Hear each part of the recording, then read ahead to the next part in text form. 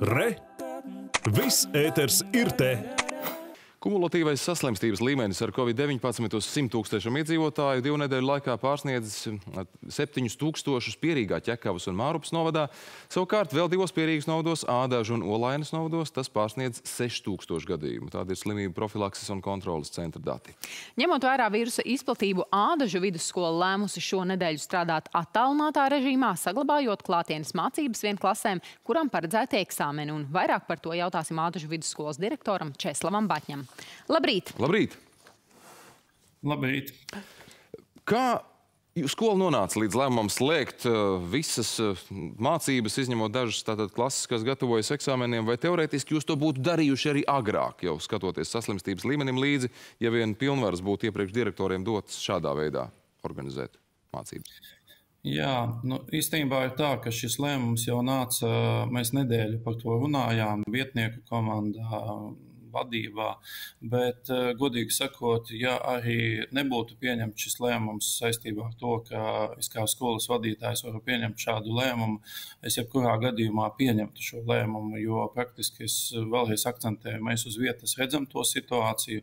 Un eh, šis janvāra vidus, kad mums nepārtraukti četras, piecas klases katru dienu parādījās, kur ir saslimušie un automātiski aizgāja šīs kontaktpersonas, nu, teikšu tā, eh, tas gala gala punktu pielika tas, ka man darbā 25 kolēģi, tā skaitā tehniskie darbinieki, bija attaisnotā prombūtnē.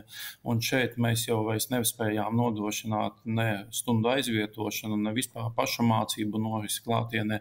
Līdz ar to tas pielika arī punktu. Bet jebkurā gadījumā arī tas, ka skolā uz ceturtdienu bija aptuveni 55% kontaktpersonas kā skolēni, tas arī apgrūtināja mūsu darbu, jo visiem šiem skolēniem eh, nedēļas laikā ir jāveic jāveic antigēna paštesti, un nu, mūsu kapacitāte tika tiešām izsmelta, un uh, labāk varbūt vienā momentā ir apstāties, uh, sakārtot, uh, aiziet šajā karantīnā desmit dienas pabūt mājās. Nu, mums tās desmit dienas ir sakarā ar iepriekšējo piekdienu, lai šis periods ir desmit dienas. Ja nu kādam vēl ir slimības simptomi, tad šajā periodā nu, epidemiologu ieteikums, ka šajā periodā tā intensitāte vīrusa norimst. Līdz ar to jā, nu, šis lēmums bija apdomāts un viņš jau nāca nepārtraukti arī. Nu, nedēļu pirms tam, bet nu, punktu pielika pagājušā nedēļa. -hmm. uh, droši vien šobrīd jau ir diezgan skaidri izkristalizējies, nu, kas ir bijuši tie vājie punkti tieši šajā esošajā sistēmā, arī ar visiem uh, testiem un, un to praksi, kāda bija. Uh, kā jūs teiktu, kas ir galvenais, kas kliboja, kāpēc nācās nonākt līdz šādam brīdim?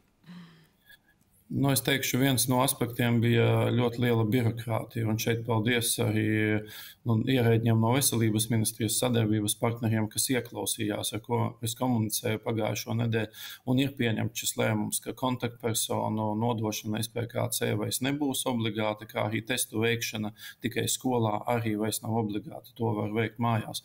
Jo, ja tā pavisam vienkārši sakot, divi vietnieki mani katru dienu nodarbojās tikai ar to, lai identificētu izolētu šīs kontaktpersonas un tālāk nodotu viņas slimību un profilaks kontrolas centriem. Bet nu, tas bija ļoti mežonīgs birokrātisks process, un uh, tas arī apgrūtināja darbu. Bet, uh, nu, šajā gadījumā tiešām es saprotu, ka valdība pieņems lēmumu, ka šīs divas darbības nebūs vajadzīgas. Bet otra neparedzamā darbība, nu tā ir, tā ir kolēģu attaisnotā prombūtne vīrusa sakarā, un nu, tas, tas bija neparedzams. Tas vienkārši mums šobrīd sāka vēlties tā kā iepriekš septembrī, ka nu, mēs izjutām, mēs izjutām to, kā daži slimo. Un nu, šajā aspektā varbūt ir vērts vienkārši to līkni nogriezt un, un apstāties. Jā. Starp citu, par šo līknes nogriešanu, ko jūs sakāt? Vai būtu vērts jūsu ieskatā, protams, tas viedokļu jautājums tikai varbūt attālinātās mācības ieviest plašāk, varbūt visiem skolās uz laiku, vai tomēr šis reģionālais princips skatoties no konkrētas skolas uz skolu, no pašvaldības uz pašvaldību, arī tas efektīvākais? Nē, nu šeit man pirmkārt ir jāpasaka paldies Jānim Klotiņam, Biomedicīnas institūtam, kurš veica arī pētījumu par mūsu datiem septembrī. Un šeit arī zinātnieku secinājums bija tāds, ja jūs neapstādinātu, tad jums šī saslimstība būtu vēl lielāka ar, ar visiem infografikiem, ar tabulām. Tas ir pierādīts. Un, bet runājot par to pārēju uz attālinātām mācībām, jā, mans priekšnieks priekšlikums bija, ka varbūt skatāmies arī individuāli, jo nu, nevaram salīdzināt, piemēram, Varakļānu novadu, kur ir ļoti minimāla saslimstība, un ar Pierīgu, kur ir strauja saslimstība. Bet nu, nosakam, ejam to ceļu, kas bija iepriekšējo gadu, nu, ja šis komunitatīvais rādītājs pārsniedz aptuveni 2000, jo tajā momentā mēs sākām just, ka mēs sākam slimot.